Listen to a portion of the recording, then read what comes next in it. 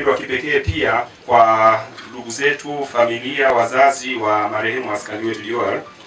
Uh, awali ya yote, Mheshimiwa mkuu wa mkoa, kwanza nakushukuru kwa uwepo wako na upendo wako kwa vyombo vyetu vya ulinzi na usalama, kwa sababu huyu ni mpiganaji wako, na kwa hali ya kipekee sana uliwahi kukaa mkoa ambao alifanyia kazi na mpaka kifo kinampata alikuwa yuko katika majukumu ya kikazi. Marehemu alikuwa ni mtu mwadilifu, mwaminifu na mzalendo na anayeipenda kazi yake ya kuhakikisha analinda uh, nchi yetu. Uh, mimi sisemi mengi kwa sababu mwenyekiti wangu wa kamati ya ulinzi na usalama yupo, lakini kwa niaba ya askari wote wa mkoa wa Arusha ambao ni marafiki, ndugu na jamaa, ningependa kutoa pole zangu sana kwa familia ya kwanza ya marehemu, lakini pia kwa wakazi wa Rumeru, lakini kwa namna ya pekee pia kwa askari wetu wa Mwanza na kwa waandishi wa habari, kwa sababu wamepoteza mtu ambaye bado ni kijana sana kulingana na umri ambao wametutajia alikuwa kwenye miaka ishirini. Kwa hiyo tunaamini kwamba mchango wake ulikuwa mkubwa, lakini viongozi wetu wa dini wanatukumbusha kwamba kila mtu ana mchango wake. Hii ni sehemu yake ambayo ilitakiwa ifanye. Tumwombee tu kwa Mwenyezi Mungu na sisi tupe nguvu, tuwe wazalendo na wachapakazi. Asalamu alaykum. Mimi na Johari. Nilipata bahati Johari namfahamu kidogo. elfu mbili na kumi na mbili alipokuja Kigoma alinikuta kule nikiwa mkuu wa wilaya. Sikukaa muda mrefu sana, nikahamishiwa Arusha kama mkuu wa wilaya. Nikakaa muda, nikatoka, nikahama, lakini nilipokwenda mkoa wa Mwanza kuwa mkuu wa mkoa nilikuta pale. Nimekaa pale takriban miaka mitano. Kwa si mtu mgeni sana, na kama mlivyoona hata umauti imemkuta akiwa kazini, alikuwa kwenye msafara wa mkuu wa mkoa wa Mwanza, na huu ndio umekuwa utaratibu wetu wa kiutumishi. Kila tunapokwenda, mara nyingi tunakuwa na wenzetu wanahabari. Kwa hiyo ni, ni mtu ambaye namfahamu. Kwanza alikuwa ni binti smart sana, alikuwa na umakini wa hali ya juu kwenye kazi zake, na alikuwa mtu ambaye ni wa kutegemewa. Eh, ninataka kusema hata nilipokuwa pale Mwanza alikuwa msaada mkubwa sana. Kila wakati alijitokeza mbele kwenye majukumu yetu yote ya kikazi. Alikuwa ni mtu wa msaada sana.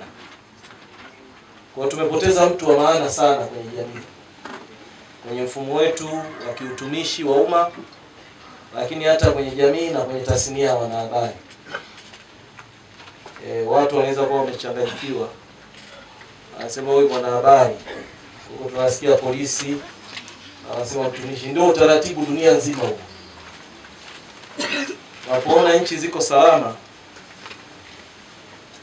kila mwananchi ana nafasi yake ya kutumikia, na Johari amekuwa ni mzalendo wa mfano, amekuwa ni mzalendo kweli kweli, mpaka dakika ya mwisho mauti umemkuta akiwa anaitumikia nchi. Kwa ni mtu ambaye tungependa kuendelea kuwa naye kwenye jamii, na alikuwa mtu kwenye tasnia ya habari, alikuwa na uweledi mkubwa sana.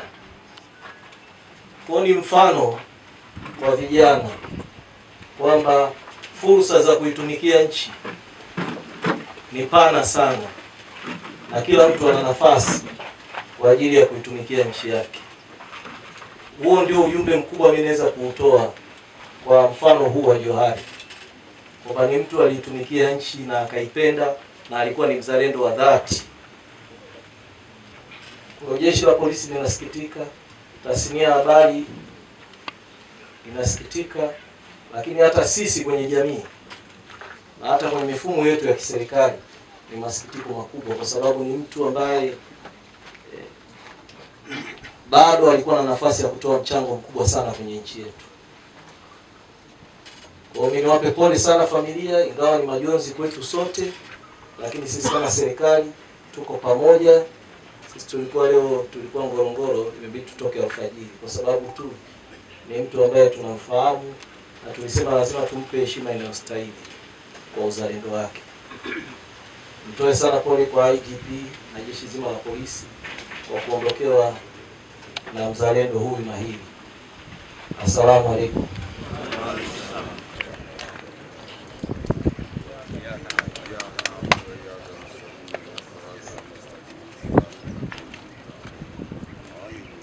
أعوذ بالله من الشيطان الرجيم بسم الله الرحمن الرحيم لا إله إلا الله محمد رسول الله لا إله إلا الله وحده لا شريك له له الملك وله الحمد يحيي ويميت وهو حي دائم قائم قاهر عادل فاضل لا ينام ولا يموت ولا يفوت ولا يحول ولا يزول أبدا أبدا ذو الجلال والإكرام بيده الخير وهو على كل شيء قدير قال الله تعالى كل نفس ذائقة الموت وإنما توفون أجوركم يوم القيامة. فمن زحزح عن النار وأدخل الجنة فقد فاز. وما الحياة الدنيا إلا متاع الغرور. ما عندكم ينفد وما عند الله باق. كل شيء هالك إلا وجهه له الحكم وإليه ترجعون. كل من عليها فان. ويبقى وجه ربك ذو الجلال والإكرام. إنك ميت وإنهم ميتون. ثم إنكم يوم القيامة عند ربكم تختصمون. يا أمة الله بنت حواء اذكر العهد.